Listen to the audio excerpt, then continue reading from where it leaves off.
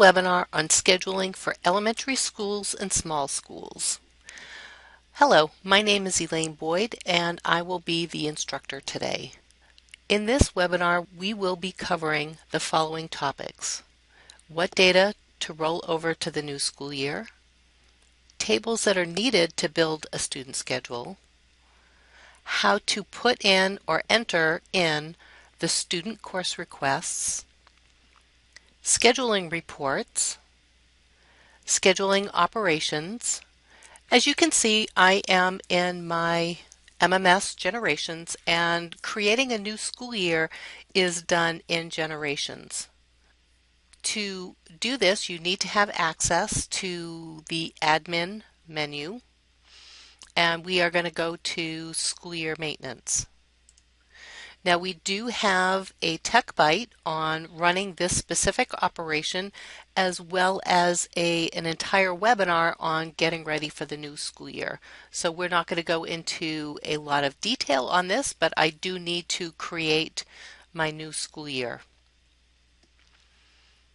So I'm going to do uh, two examples. I'm going to do my high school and I'm going to do an elementary school. And so I had, you can see my district database. I have my high school, my current school year, and it is going to go to my two school, which is also the high school, and my 17-18 school year. Now I am going to auto select my default tables, but there are some tables that I am going to deselect. Actually, I'm going to start at the top and work my way down.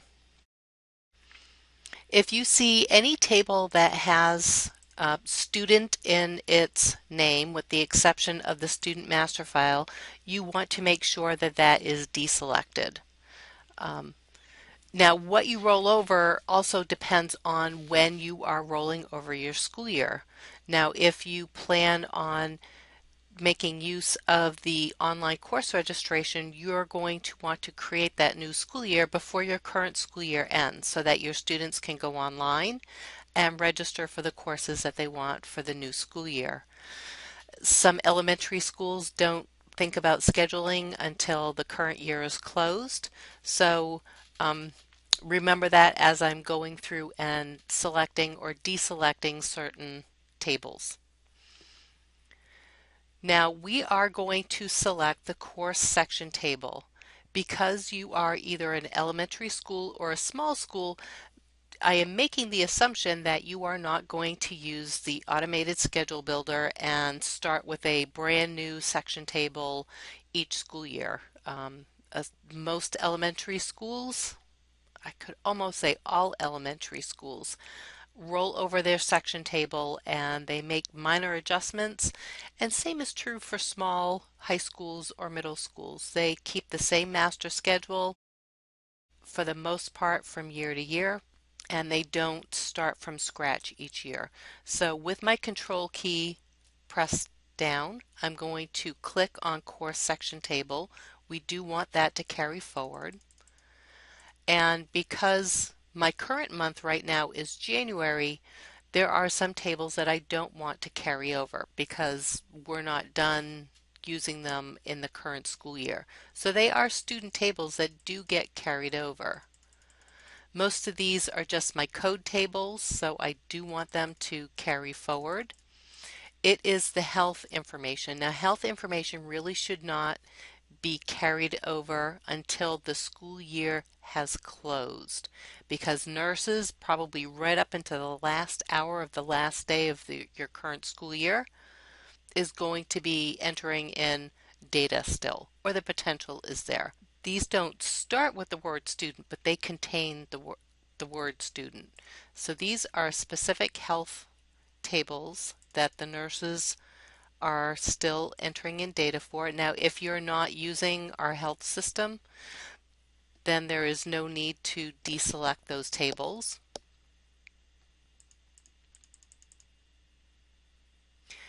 This is a table that's not part of the auto select default, but at some point in time you'll, you will probably want to move that table over even though it's not part of the auto select default and this is the parent student portal table so this is the settings that you create when you in in MMS generations when you set up what information you want the parents and students to see in their portal. So I am going to select that one. I want that there.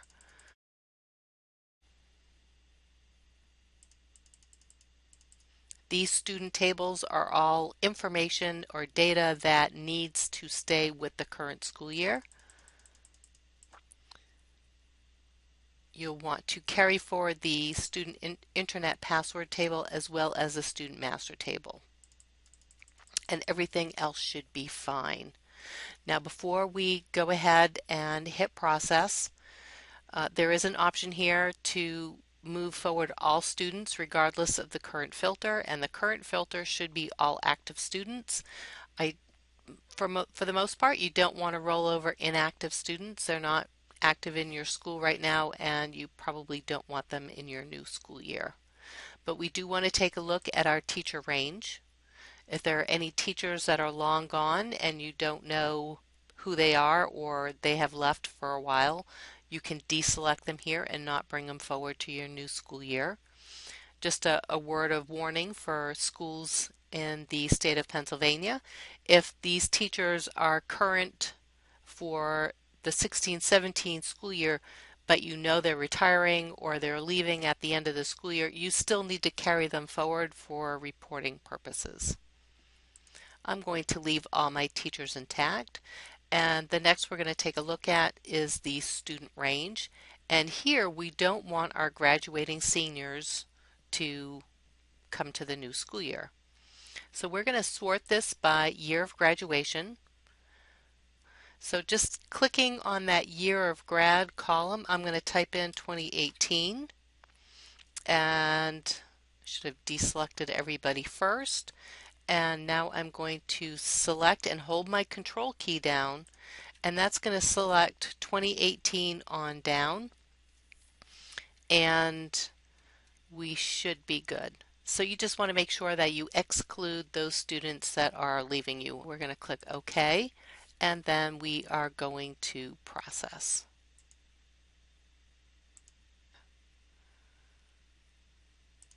Okay, so now I'm going to go to my middle school and I'm going to take those graduating 8th graders because I need them in my new school year, especially if I'm going to do online course registration. So I'm going to pull from my middle school, my current school year, and I'm going to bring it to my high school for the 17-18 school year. And looking at my cheat sheet, I want year of grad of 2021. That is what I'm looking for. At this point, we are not going to auto select the default tables. We don't want to do that. We are just looking for the student master table. And that student master table is going to get our contact tables as well as the three master file tables. We do need a student range. And let's see what we have for students here. So my 2020 shouldn't be there. So we're going to start with deselect and we're looking just for our 2021. Um,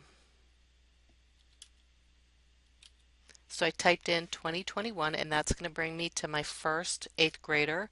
I'm going to hold down my control key, click on Kara, and now I'm going to type in 2022 and I'm going to hold down my control key and click on Robert and now I only have the 169 students that are going to be my incoming freshman class.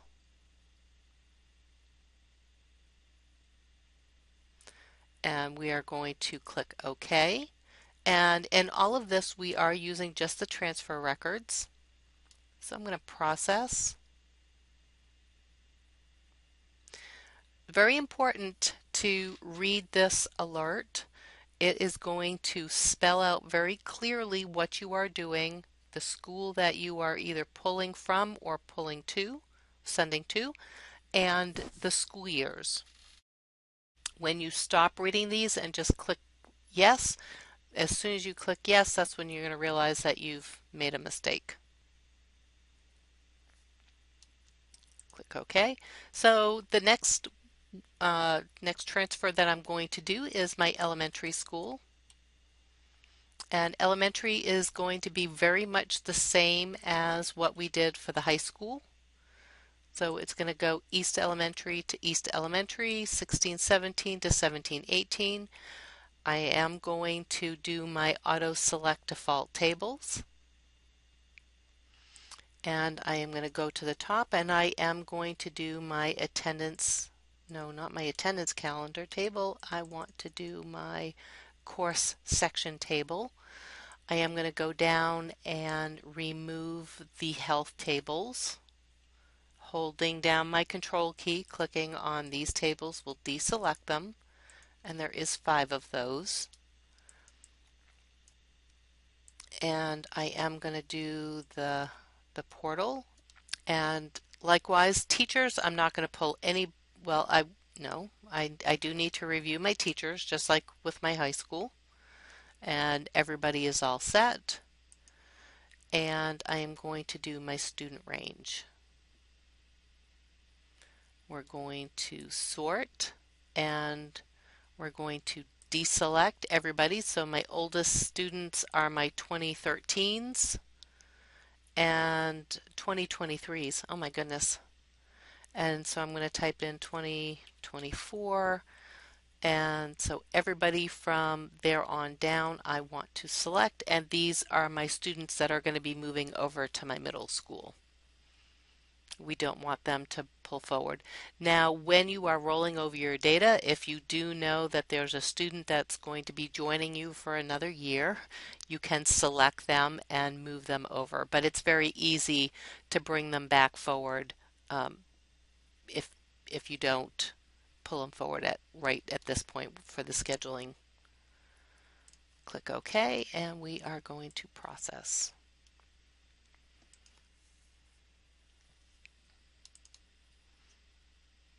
All right, so now that we have our new school year and we're ready to schedule, one thing that you can do that is a wonderful tip, I'm going to exit out of here, is what you can do is create a user account strictly for scheduling or if you are in that scheduling window you can um, change it so that your default school year is the 17-18 school year.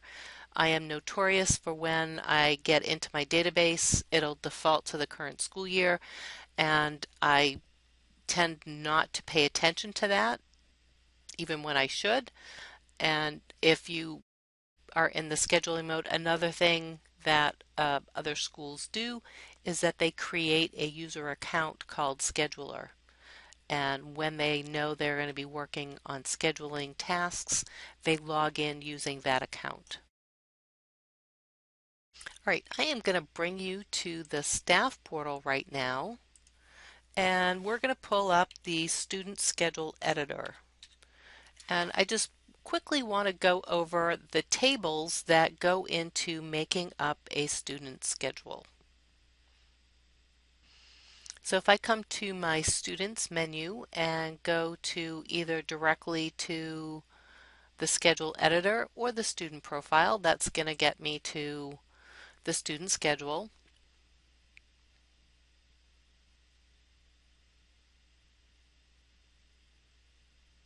And if I scroll down,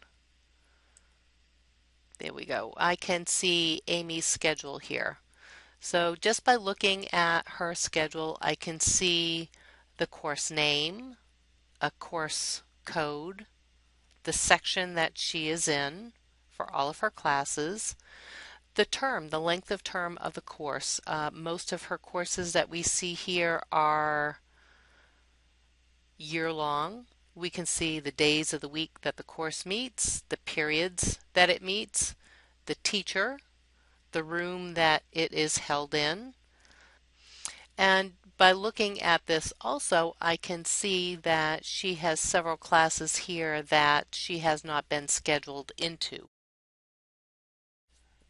But all of these tables all go into uh, what we've seen here, all goes into creating a student schedule. Now, I'm not going to spend a lot of time looking at these, but I think it's important to have a good foundation as to what tables you need to address.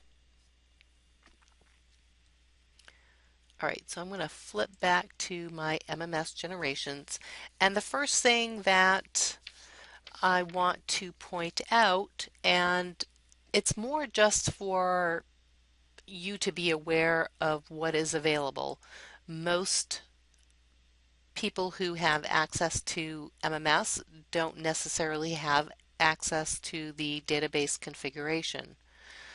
But there are things that you can configure that will be unique to your school in regards to scheduling. So this is, and this is actually also available in the in the staff portal. I keep forgetting that. Um, so you can see how many days that are in your cycle. Mine is a typical five day cycle. And for each day, we need to have a unique one, one character label for it. So a lot of high schools have, a, you know, a red day, a black day, A day, B day type schedule. You can determine how long you want your course codes to be. It can be up to 12 characters.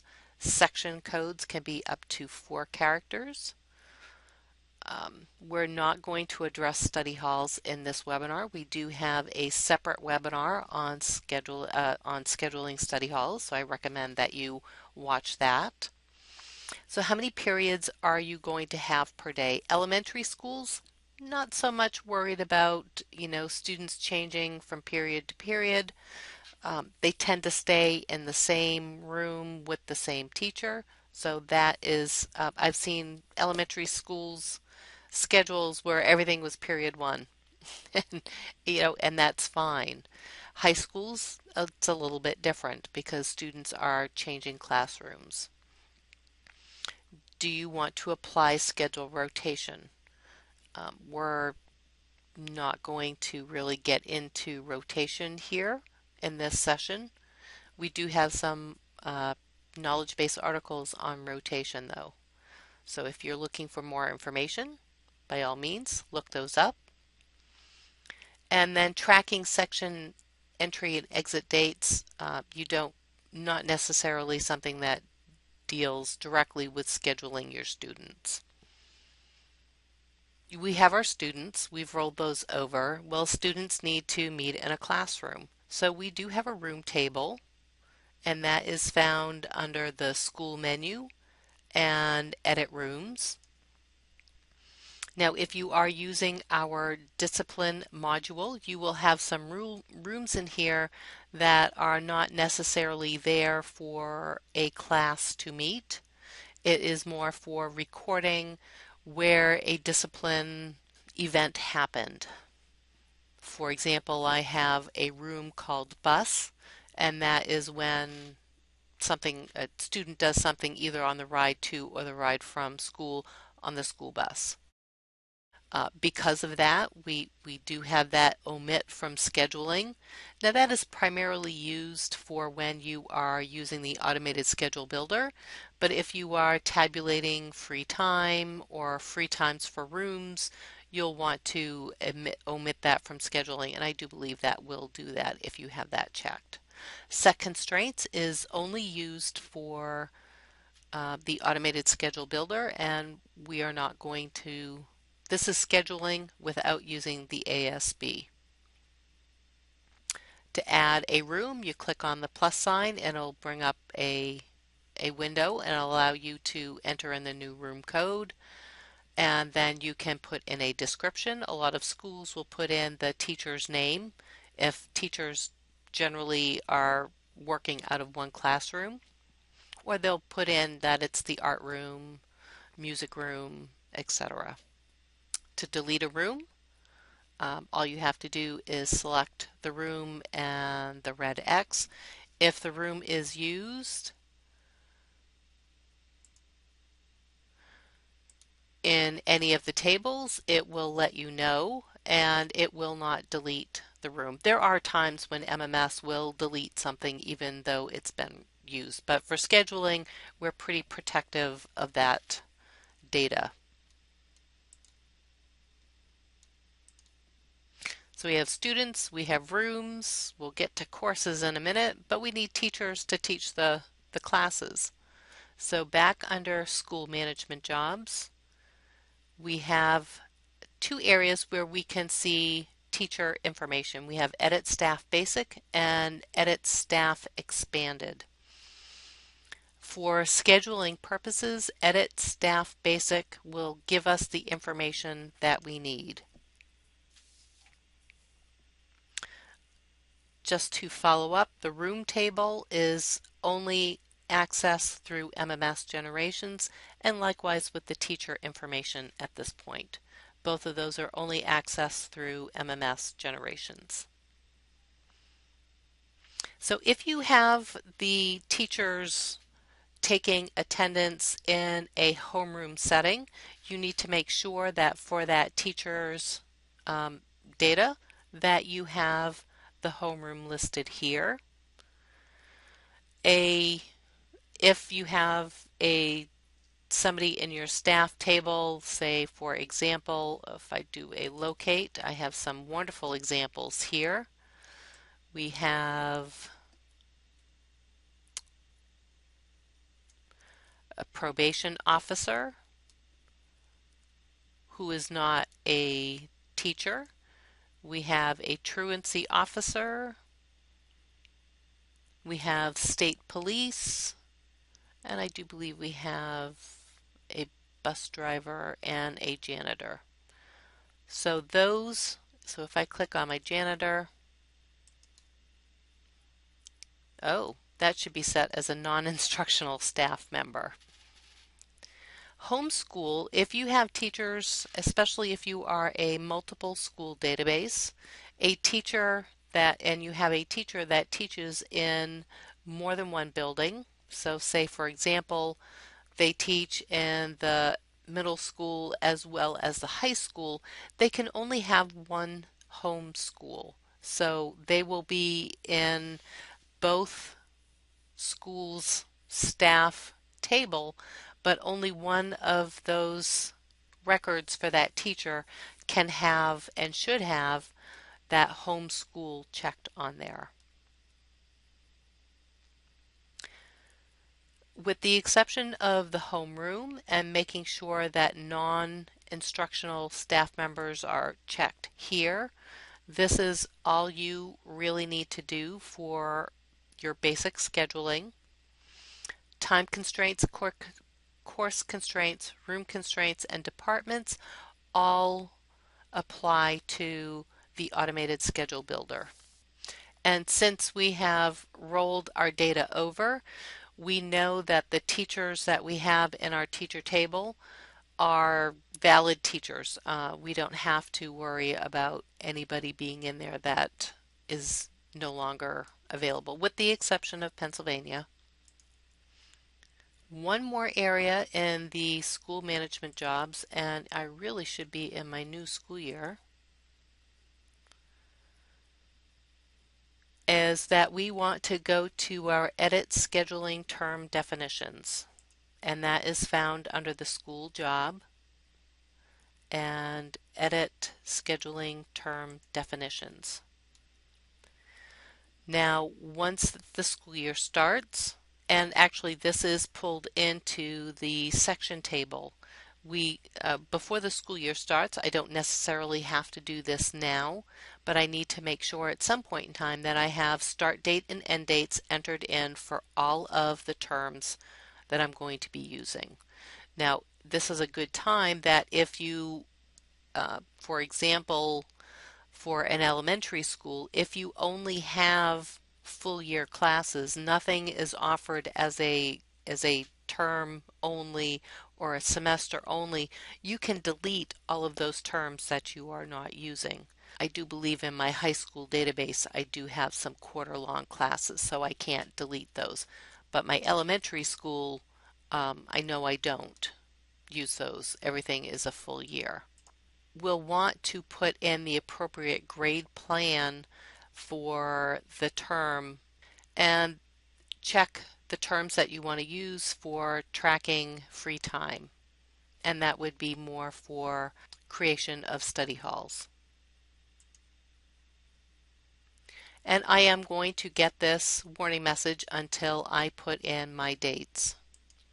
And that's fine. I'm not ready to put in dates yet. The next area we're going to look at is our Edit Course Catalog, and I'm actually going to go to the staff portal for that. And I'm going to switch to my elementary school.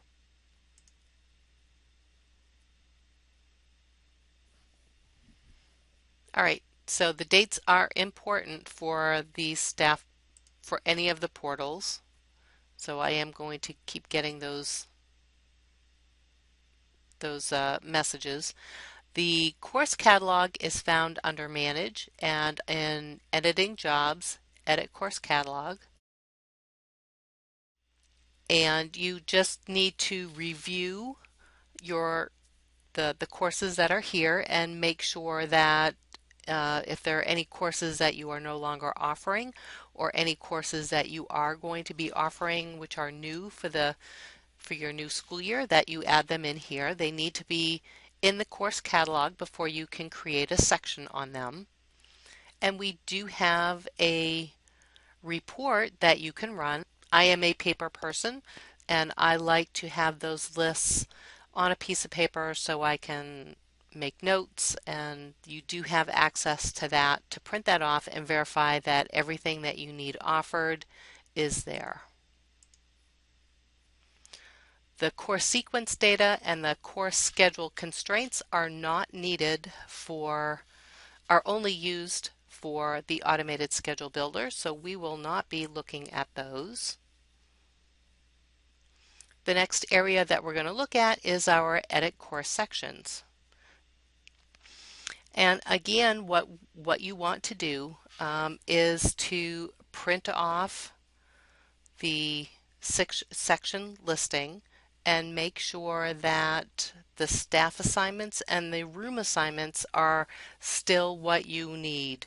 Um, once the, the student schedule requests have been in and we run some reports on that, then you can make adjustments to increasing or de decreasing the number of sections that you have.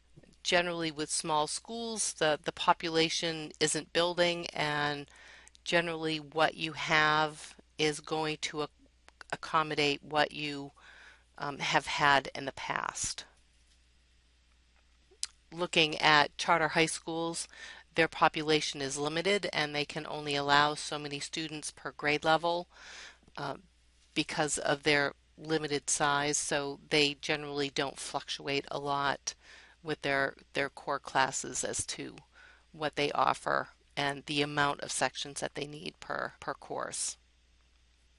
So it's very important that this is all set up before you start scheduling. All right, so now that we have our, I'm going to flip back to my MMS generations, and now that we have our tables needed for scheduling, we have our room table, our section table, our teachers, our staff, and our courses, we're ready to start scheduling our students. And there are several ways that you can do that.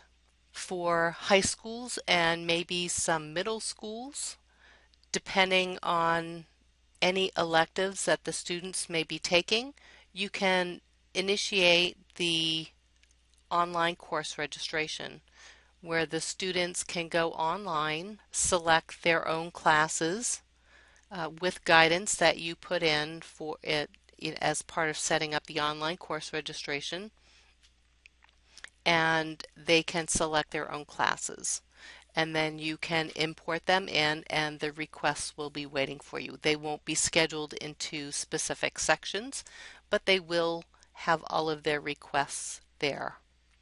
And we do have a tech bite, actually two tech bites, on how to set up online course registration as well as how to import that data into MMS. So we will leave that there. But just to tout the benefits of online course registration, it allows the students to select any courses that they may be able to take. It also gives the parents the chance to get involved in helping and guiding and being part of the process of the students selecting their courses. It saves time on the part of the school staff. They don't have to do the data entry. The students are doing it for them. And just to refresh that we do have some tech bites on how to set that up. Now before we get into doing any of the mass edit, if you choose to enter in the student course request yourself, before you start that, strongly recommend that you use filters. Filters, and I do have some set up. So I have five filters set up so that I am filtering on a specific grade level. And that will hopefully be apparent once we start getting into the mass edit which is the first option that we're going to take a look at. So the Mass Edit Student Course Records is found under Scheduling Jobs, Operations, Mass Edit Student Course Records. This operation gives you several different options here. I can see here that I can add a course, and for all of the students that I either am filtered on or I do have the option of selecting a student range, I can select that they are going to take art, English, and a math class. Select my student range and process. So these students will have a request for art, English, and math, but they won't be scheduled into a specific section. We have this lovely reset button, so it will, whichever tab you are on, it will clear it out for you. Rather than just giving a student art, I am going to take my group of students that I know are all going to be in the same classroom together and schedule them so that they all have the same section. They all have the same teacher for all of their courses. Now that works well for those core classes that they're going to have for the same teacher you could mix it up for the, the phys ed or the art, but generally those students travel together in a pack. They're not going to be broken up and mixed in with uh, the other first grade class. Or there may be just one first grade class. So for elementary schools, you are going to more than likely select the course and section that the student will be enrolled into for high schools. So you can see I've selected section one for all of these. For high schools, you probably, um, the students, you know, move around and mix. They don't travel in packs together. So you can give them the option of intermingling with their whole class, grade level, and not, you know, being able to give them a little bit more variety in how they're scheduled. So if you choose to put them directly into their section. Again, I would recommend using a student filter and not using the student range. That way you don't have to worry and you know exactly which group of students you're working with. Click on Process Edits and all of those students will be scheduled into their class and you're done. Short of reviewing the class list, making sure that everybody has all of the the courses that they need for the for the new school year, you're done. This operation will also drop courses from a student schedule and you can select just the course code or you can be specific and select the course section. You can do a, a, a course replace so if you accidentally put a group of students into a section or a course and it should have been, uh, for example, your first graders got put into a second grade math, You can set your filter so it's only first grade students and then replace the course of second grade math with the course of first grade math. And for each course that you want to change, you need to fill out both of those columns. You can do a conditional add. So for all students who are in my section 1 English, I'm going to add them to section 1 math, section 1 science, so forth. You can do a conditional drop and you can do an edit condition. So this is an additional layer of filtering that you can do on the students that will be processed. When you are doing your mass editing, have a checklist and this time I would strongly recommend printing it out and know exactly which students you're processing and be in a room with the door closed with no interruptions. It's very easy to get lost as to where you are exactly and if you start adding same courses to the same group of students or the wrong courses to the wrong students it's it can be fixed, but it's better to be cautious and careful and not have to back out of any errors made. So like I said, if you are entering in the course sections, you're done at that point.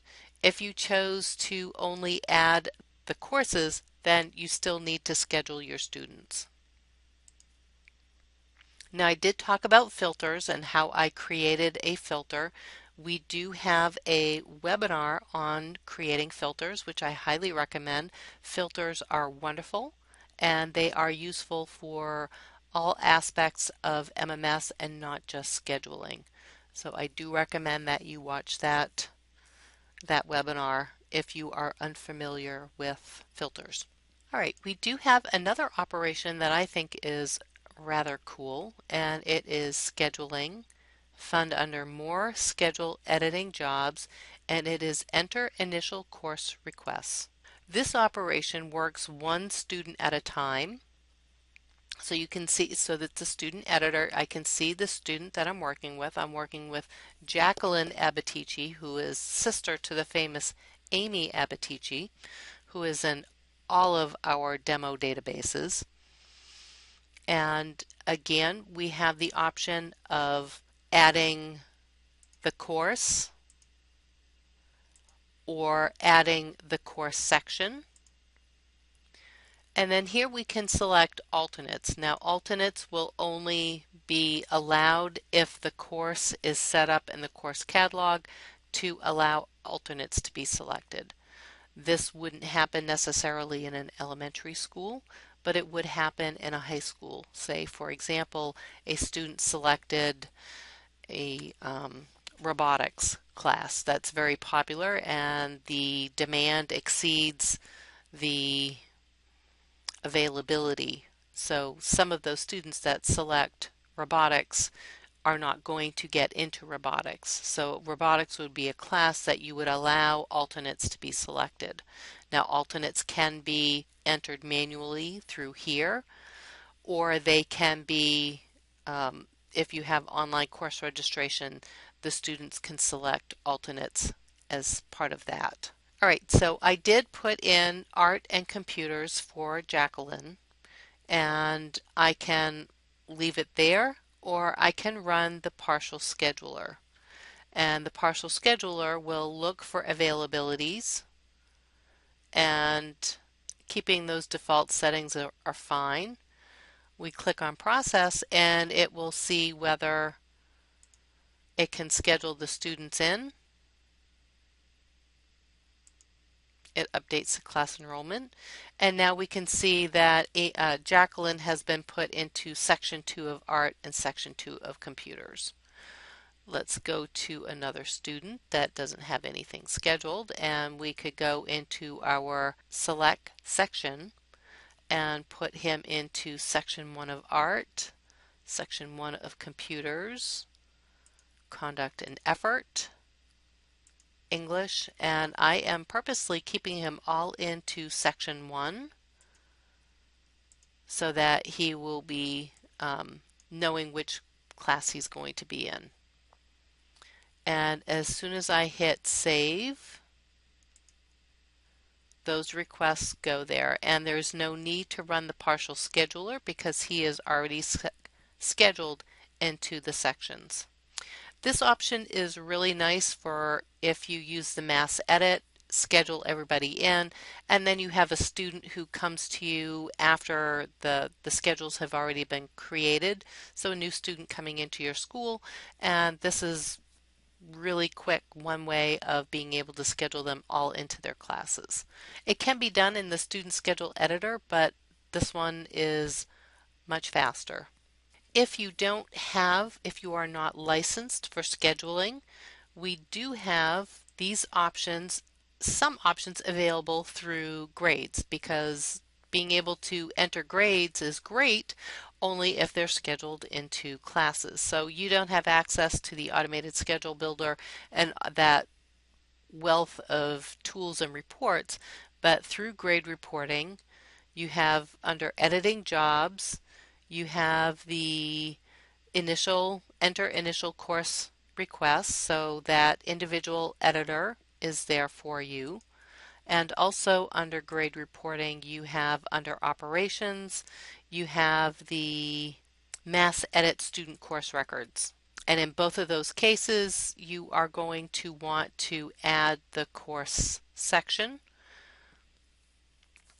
Well, actually, the individual one, you still had access to the partial scheduler, but in this one, uh, you do not have access to any scheduler, so you will want to select the course and section. If you are in a high school and you have allowed for online course registration and you want to know whether you need to make any adjustments to your section table to make sure that you have enough courses and sections for the student requests.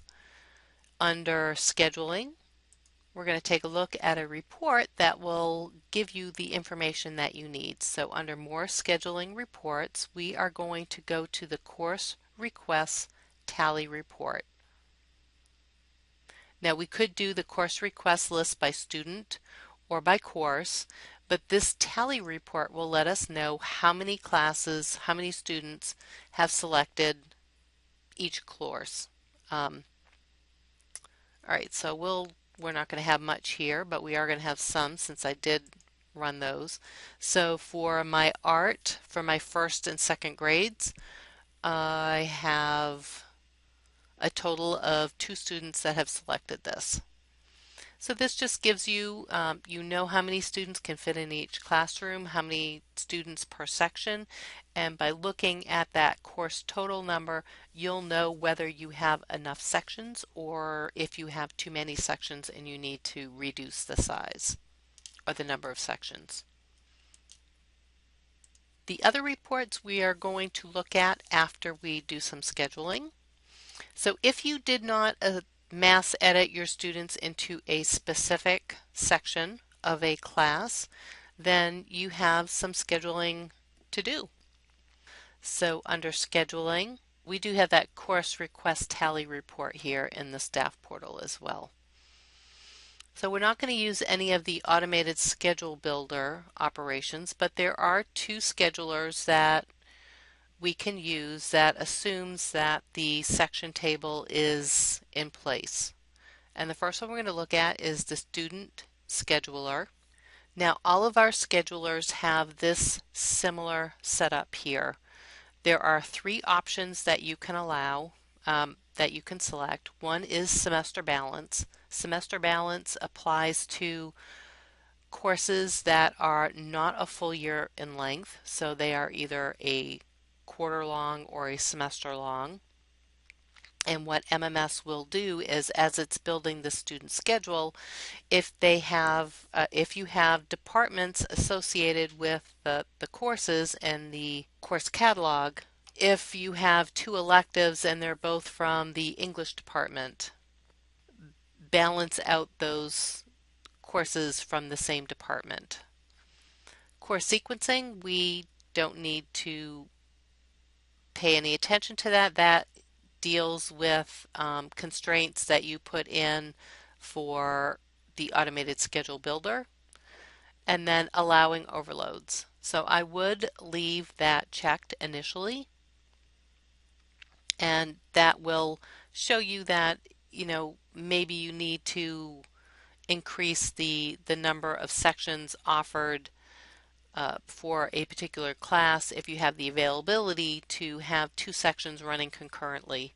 MMS does its best to not create overloads. That's important to remember. It, it won't take the easy way out. It will try to build the, the sections evenly. Minimum number of scheduling attempts per student. I have never seen that changed. Um, that is a good number. If it can't schedule a student after 100,000 attempts, then there's probably not any way that with the current data that you have that that student will get scheduled. And we do have two different reports that you have access to and with all of our reports you can enter in your own user defined report title and they are right there and there. You do have access to a student range or you can pull down and um, and use your filter if you want. Either way is fine. Where a student range might come in handy, not so much for elementary schools, but more for high schools for those elective classes. If you want to give preference to your seniors to get into those high demand elective classes because this is their one shot of getting in before they graduate, you can set your student range so you you schedule the students the seniors first rather than the freshmen. One thing that the, the student scheduler will do is it will unschedule all courses and reschedule the courses to make the best possible schedule for a student. So if a student was partially scheduled and you run the student scheduler, if they are in that student range, then they will be pulled from all of the sections that they're currently enrolled in and then MMS will try to get the, the best schedule for that student. In the section table, you can set a priority, uh, a priority of normal or low and MMS will schedule the normal priorities before the low priorities. So that is something that would be important to go back and review and make sure that the core classes are set to a normal priority and the elective classes set to a low priority. That way, when you run this, you don't stand the chance of a student losing an English class for a family consumer science. Although a very useful class, teaching life skills is very important. They may not need family consumer science to graduate, but they will need their English class. So process does process and you are going to get a a warning message saying that you are running the student scheduler for the 2017-18 school year are you sure you want to execute? Yes. And in my high school, I don't think I have anything here. And I am right. I have 435 students and I have 435 students without any courses. The other scheduler that you will want to use is the partial scheduler. Just like the student scheduler, you need to have the the student uh, the the section table needs to be in place. It will not create sections for you. But what this one, the partial scheduler will do is it will not unschedule or change the section assignments for any previously scheduled courses. Whereas the student schedule unscheduled the student and then started fresh, this one will only try to schedule those sections of which the student hasn't been scheduled into yet. The other operation that you will want to do periodically while you are doing the scheduling process is to update class enrollments. Those are the reports.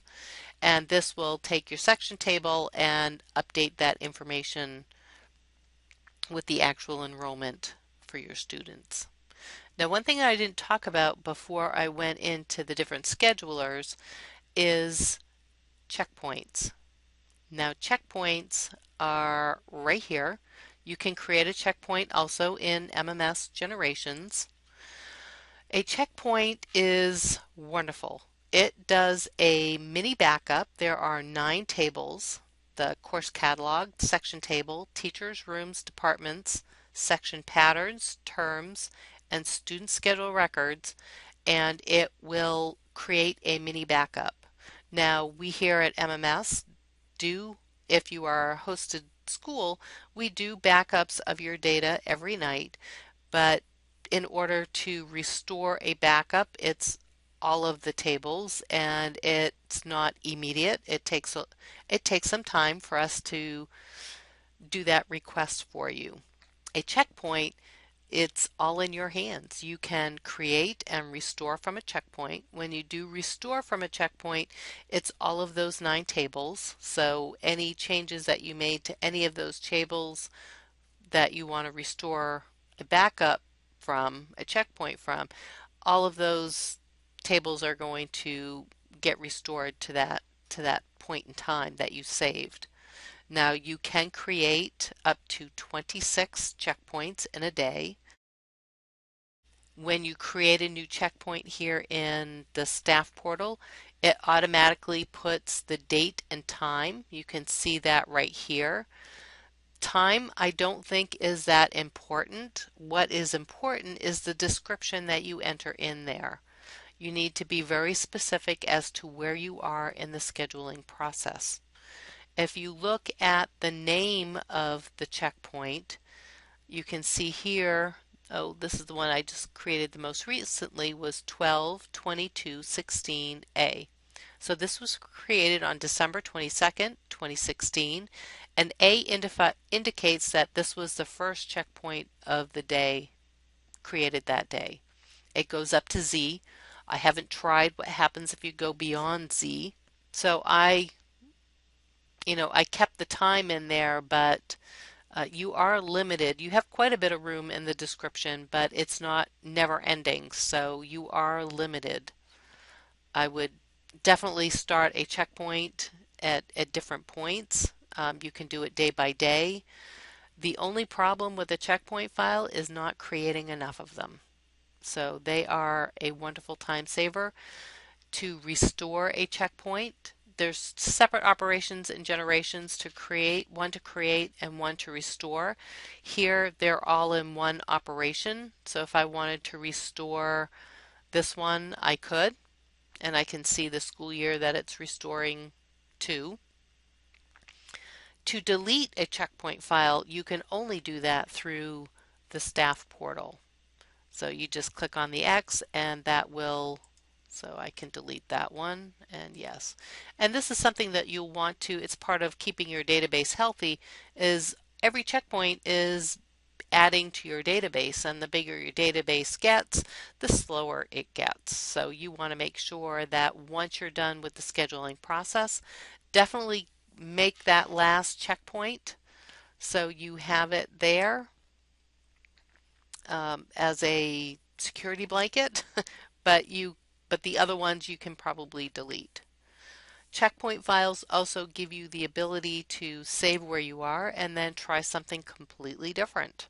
If that doesn't work out, then you can always go back to where you were before. So it gives you a lot of freedom in scheduling to answer the questions, gee, I wonder what would happen if, and you can try and it's a, a no harm, no foul kind of thing. All right, so let's go back to some of the reports that you can do. Uh, once your student schedules are all set, under scheduling, we can print out our class lists.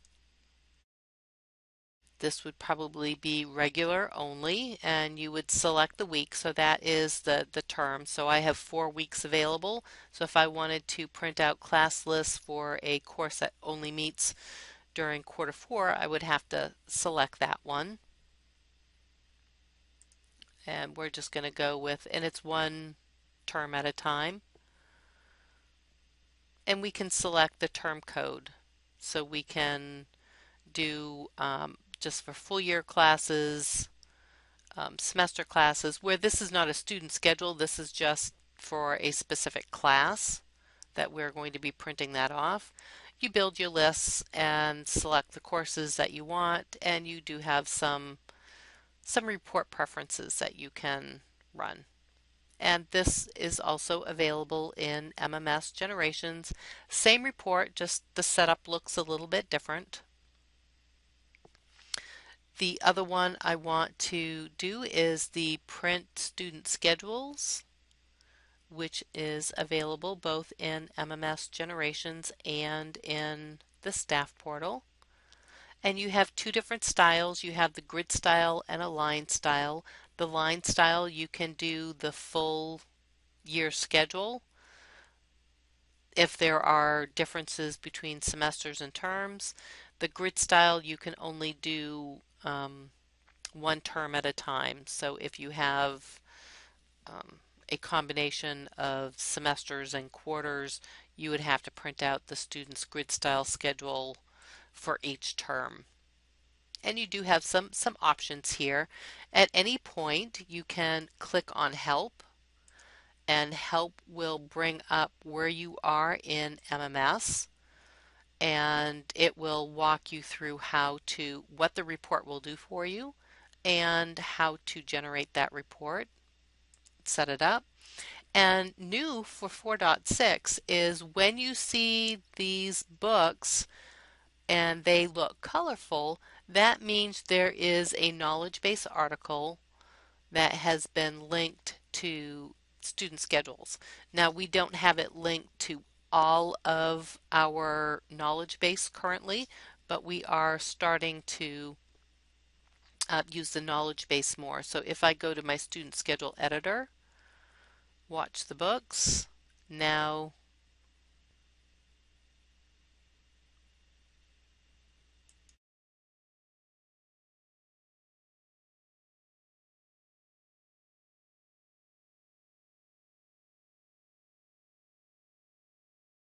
Also available uh, are the teacher schedules and teacher master schedule that you can print off. And again, you have two options between the teacher schedules and the teacher master schedules, which options you want to include, and you can set a start period, stop period range for what you want to include in the scheduling. Well, I hope you found this information useful scheduling obviously does happen on a small school or elementary school basis.